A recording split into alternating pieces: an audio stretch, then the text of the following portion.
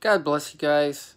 Um, before I get started, I just want to say to you all guys that, uh, you know, the Lord instructed me. I have prophetic dreams. I've told you walking with the Lord quite often, you know, and he tells me, you know, and reaffirms to my words, uh, you know, to follow peace with all men and really even his enemies, even those who uh, hate him and, and uh, those who are fighting me, you know, of course I've forgiven them but we can always do more. Uh, we can get have more depth of forgiveness.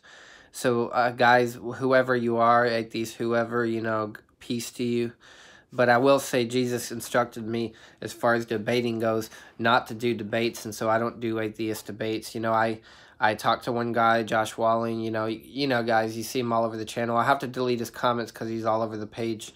But uh, Jesus instructed me once in a dream not to be doing that and fighting them because it takes the oil that he gives me to use on you guys who want to hear the message and I'm wasting it on somebody who uh, doesn't want to hear and he said it's I'm trampling my pearls before swine and it's also a sin. And he said that you know reminded me of the scripture he rebukes the wicked gets himself a blot because when you do that it's one spirit tangling with the other spirit. And if you do it often the spirit of the other person uh, will get into you that antichrist spirit that antichrist against god and it'll get you uh, because bitterness and all these things they're part of the world. So the the world and atheists and all those people that have those spirits of uh worldliness and antichrist spirit against god bitterness is one of the spirits also against against jesus and it can take us out of the spirit of the lord the sweet spirit of the lord. And god wants me to keep my sweetness. And so uh, and the oil, and so he's instructed me not to argue with them, you know, and stuff. So I don't do that. But um, peace to all of you guys, and I just wanted to get started and tell you, you know, share a dream I had a while back with you guys. Uh, I, I, I think I I posted on the channel. Uh, somebody instructed me to be more prudent how I shared it, and so I I put that privatized that video, but I'm just gonna go ahead and reshare it. The Lord will give me wisdom. But I was instructing on how to walk in the Lord, and these experiences come when my great desire for holiness. How can I walk in you, Lord? Show me, give me wisdom to walk in you, and the Holy Spirit will give me revelations and dreams how to walk in them more effectively.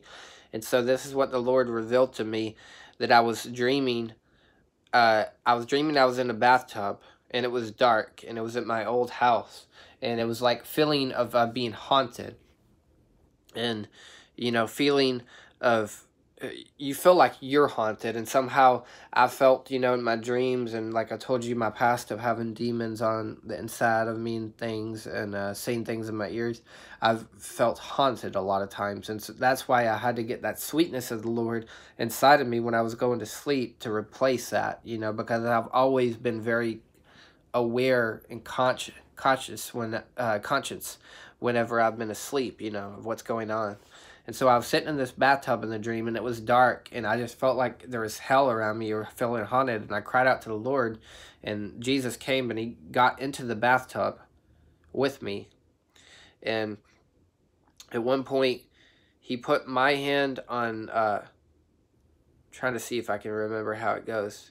He put my hand on his heart and it, it beat three times, and each beat was his will for me and humanity. I knew this was his great will for human humanity, and when I woke up, I knew it was his three wills for humanity. And these are the three words I heard deliverance, responsibility, and destiny. And he explained the first one deliverance, that we would walk totally delivered from all sin, from all uncleanness, from bitterness, from unforgiveness, from, uh, from, uh, what do you call it? Uh, lying and stealing and cheating and fornicating and porn and masturbation and uh, all the unclean things of the world. Uh, pick pick any emotion, and including depression. He he's wills for us to walk totally delivered to that. That's his first will. That's his heartbeat and his, his ache in his heart. And the next one is responsibility. And he explained that that we would do our part to enter into uh, and walk in that deliverance by praying, by reading his word, by being responsible and doing those things he tells us to do and, and walk in his spirit. follow him, you know, listen to him. not walk in the flesh. Do our part to, to enter into those three, that first will, and we would totally be delivered. That's His heart aches for us to be totally sin-free, and we can. His heart beats for that. His first heartbeat. Second heartbeat, responsibility, I just mentioned just now. His third heartbeat is destiny. And he said in destiny, and doing, being, doing the first two wills, we'd be uh, walk delivered and we'd be responsible to do our part walk in that deliverance. And we walk in our destinies. We would reach the lost uh, with the gospel. Those that want to hear and those that don't want to hear let them go on their way. But we would we would do what we're supposed to do on earth and get the message out and when we would do that we would get all our uh, all our prayers answered uh, destiny we'd complete our destiny I asked thing about a wife is that included in that and he said yes but he did tell me in number three for what he's given me to do is do these uh, three movies detailing uh, kind of before the end of days. Uh, the first one's called Deity. The second movie is called uh, uh, Jacob's Trouble. The third movie is Reign. The second movie starts a Great Tribulation. That's where I need to know about the two witnesses and everything. And the third movie is Reign. He said he's given me power and resources, and when it's time, he'll provide me the funding to make it big enough to do it so it can get out there. I won't be ever receive any glory this. I might go on a Ghost Rider kind of name so nobody will know who I am. Because, you know, if you do, if, if you do your works to be seen by men, you have no reward of your Father. But I do want people to hear the message, and I do want them to repent and hear about holiness and things. So he's given me these kind of prophetic things. But that detail is for you guys. You have something big that God tells you and if you ask God what his will for you is, he'll show you. And so after that third, uh, I woke up and I wrote all that down, and it was a lot of information. I'm I'm very good uh, prophetic writer. I can write better than I could speak, guys, actually. But uh, you know, and I woke up and I went back to sleep. I had another dream, and this was the three wills of Satan, and I didn't plan for it to be that way. That's how the Lord spoke it to me, and He said first, uh, that Satan he appeared as uh, I saw the character Ghost Rider at a great distance from me, and he was coming with a vengeance because Ghost Rider, also Batman character, is known as the Spirit of Vengeance. You know, it's a demonic spirit basically. They're both demons, but uh, Ghost Rider was coming with the Spirit of Vengeance. You know, at me. You know, and he's like trying to play chicken, seeing if I'm going to stand my ground or I'm going to get out of the highway and he's going to run over me. And I stood my ground with the Word of God. I quoted the Word of God. And I had to psych myself up to stand. And when I did that, right before he was about to hit me, the Spirit of God lifted me up above him where he rode with his motorcycle, you know, trying to intimidate me. It lifted me up to another place, and the dream changed, and I saw different people in my past who'd fought with me and attacked me, even ministries who argued and attacked me and it was a spirit of uh, opposition. And uh, yeah, the spirit of opposition.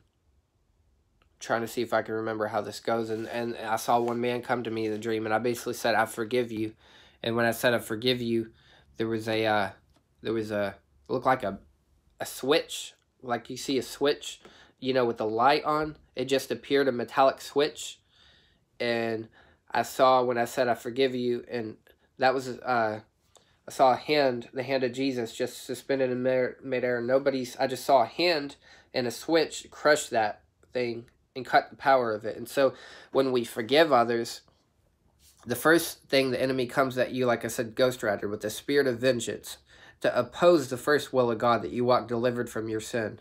Number two, he comes with the spirit of opposition through others through others to oppose the second will of God, that to, to stop us from, to discourage us from praying and reading the word and being responsible and doing those things to do the will of God.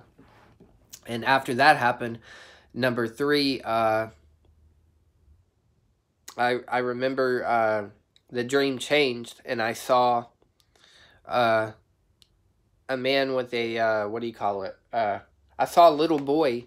I saw a little boy in a profile like this and he was putting two wires together and he was in a little room and sparking them together beside a TV, in front of a TV, and when he sparked them together, a great big explosion, and it disappeared, and I knew God gave, the Spirit of God told me that that was Satan, you know, like a little, little kid, you know, he's, basically when he's sparking that fire, he's going to go up in that flames, but I sense there's a lot of people going to go up in those flames with him in that city, in that area. And so the devil is already going to go to the lake of fire. And he's these two flames, what he's trying to do is he's trying to get your flesh, guys, and you Christians, you understand this. He's trying to get your flesh against your spirit. And when he does that, then uh, he has you, basically. So he puts those two wires together and sparks them to try to get um, your flesh set against itself. And and so that's the spirit of death. And so the three uh, wills of Satan, he comes with the spirit of vengeance, spirit of opposition, spirit of death. And not just physical death, but the spiritual death. If he can get your spirit against your flesh, or you, I should say your flesh against your spirit, he'll get you to sin and die in your sin and go to hell. So those are the three wills of Satan, which oppose the three wills of God. The spirit of vengeance opposes God's first will for you to be delivered from all sin. The spirit of opposition through others discourages you from doing the second will of God, which is being responsible from praying, reading the word, and doing those things to walk delivered. And number three, the spirit of death comes to kill your destiny, which is God's third will, that you walk in your destiny, you complete your destiny. He comes to kill those things. So we have to be aware when we're walking in the three wills of God that of the three wills of the enemy. And we have to come with a fire to oppose the spirit of vengeance, to stand and walk delivered. We have to have the fire of the Lord to uh, reject the spirit of opposition, to forgive others. And we have to have the fire of the Lord to reject the spirit of death that gets us to go back in our sin and choose a life over that. So that's the dream, guys. I pray this blesses you. Till next time, shalom.